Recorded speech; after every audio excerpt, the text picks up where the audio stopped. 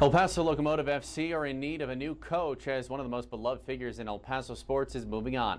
Let's head to ABC7's Nate Ryan in the sports office where he has the very latest on Mark Lowry's departure. Nate.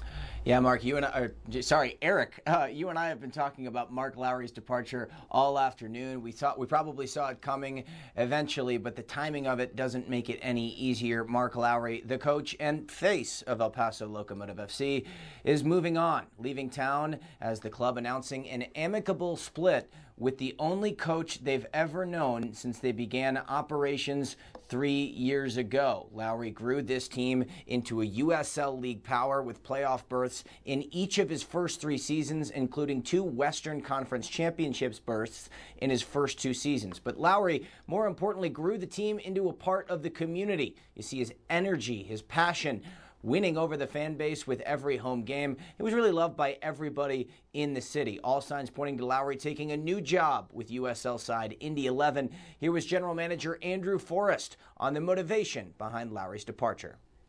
He's looking for, um, you know, a new challenge, and and and Indy's, you know, been around for a long time, and I, you know, I suspect maybe there's some some of the MLS talks may have played in played into that, but I think he's looking for a, a club that, quite frankly, has underachieved uh, for who they are the last few years, and I think he's looking for um, a challenge that a new challenge. He's done he's done remarkably well here outside of a uh, a championship, um, and I think that's that's one of the one of the things he's looking at when he considered this. No secret that Lowry does want to move on to the MLS eventually. Indy 11 in the USL Championship, but they do have aspirations of eventually, especially in that market, getting to that professional level. So probably the driving factor behind that. I'll have more of all your sports coming up in a few minutes. All right.